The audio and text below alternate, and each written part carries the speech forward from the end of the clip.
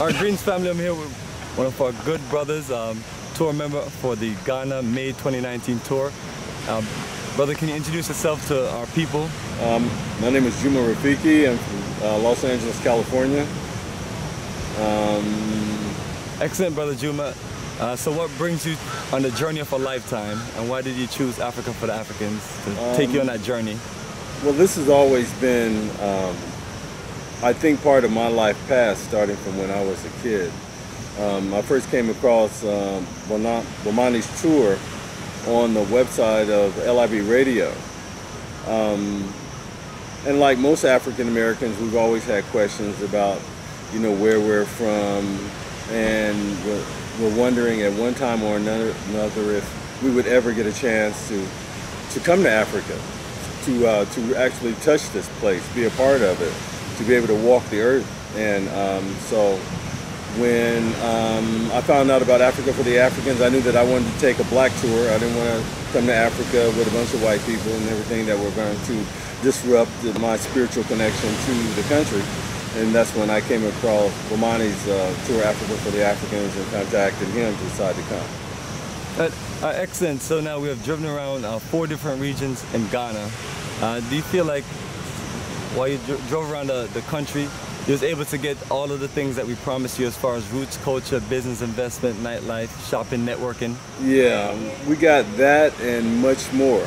Um, it's a non-stop tour, you know, going from one region to another, from starting from the very day that you get here. Um, there's very little time to uh, to do anything else except hit one spot after another. So it's a very comprehensive tour in that way.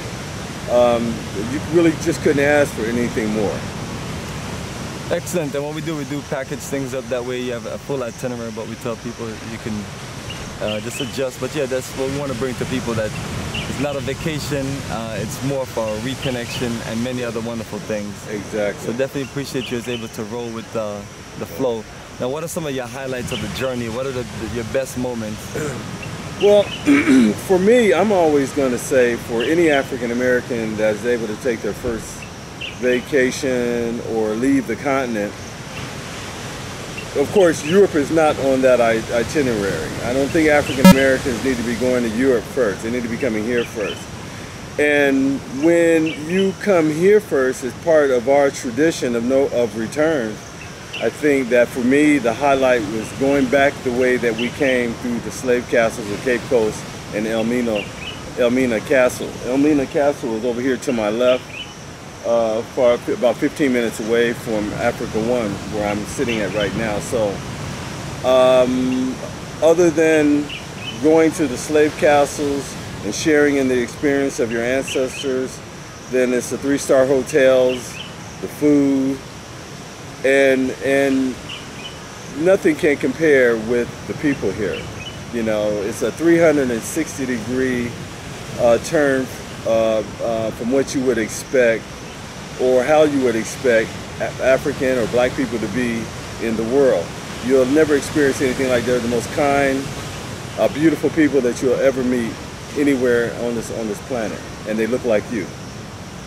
Excellent. Uh, While we, we have a group of it's 30 of us, uh, were you able to connect with uh, others and make new friends, a new connection? Yes, um, I, of course, I came with my own business cards, and so I shared. Um, you know, I I plan on staying in touch with a lot of other people.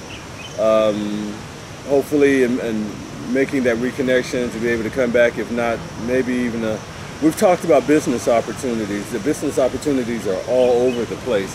I don't care if it's from toothpicks to ice, construction, um, electrical engineering, restaurant business, it's just wide open. So yeah, I've been able to make a lot of contacts to consider um, maybe possibly engaging in one of these enterprises. That's perfect. Uh, now, do you feel like you are well prepared for this journey and then once you got here, everything flows into that preparation? Yeah, well, you know, you gave us all a handbook um, that was pretty comprehensive and uh, let us know pretty much what to expect. Yeah, and um, so most of us had booked our tours well in advance. I booked mine well in advance, and and if um, I think that most people before they take the tour go uh, Google Ghana and Google uh, Bomani, and and just take in some of the videos and some of the information that will also help you to prepare, because like I said, it's nothing like what you would expect. It's just totally something absolutely totally different. You know.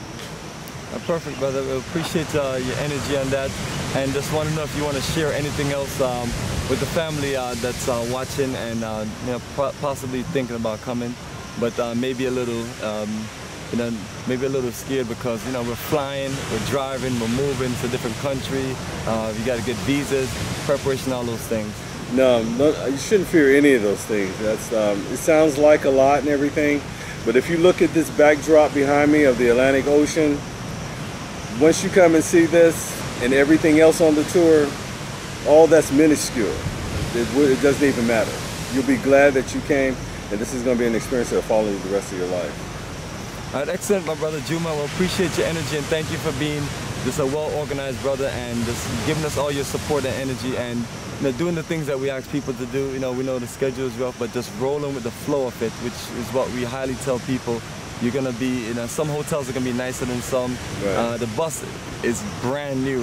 You know, mm-hmm. we give you the best, but at the same time, too, we do a do a few things to get you to feel the experience in the country. Because one of the things we always tell people is that our ancestors went through hell, a hell of a lot more, hell yeah. accommodations, and nothing, we have the right. best accommodations. So I always right. tell people that there's not much to complain about. And uh, know, so just want to find out from you if there's anything that you have that uh, that you feel like is a complaint from you. No. That, uh, that we or maybe the country of Ghana can do better. No, I have no complaints at all. I, am like I said, I'm from Los Angeles. I'm from the hood. this is nothing like that at all. I mean, I'm not really all that anxious to get back. To tell you the truth, because hey. I know what I have to go back and deal with that again. But we can always know, change the ticket. yeah, I can always change the ticket and stay though. You know, as long as I've got a, a few cedis. Absolutely. Well, brother, appreciate your time and energy. And uh, I will look forward to connecting with you on many other wonderful journeys and look forward to for you to share your experience with others so we can get more and more people on the continent so we can build this beautiful Pan-African nation for, for Africans on the continent and Africans in the diaspora. Yeah. Well, thank you, Bomani. Absolutely.